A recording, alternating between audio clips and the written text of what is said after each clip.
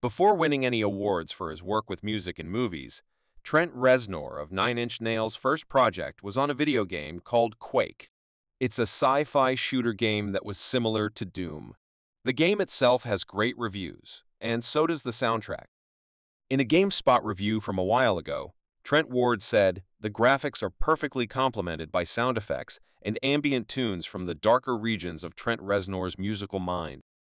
Simply put, this is the best soundtrack ever created for a computer game. Reznor's eerie sounds and unsettling background music push Quake's already dark and creepy atmosphere into the realm of pure evil.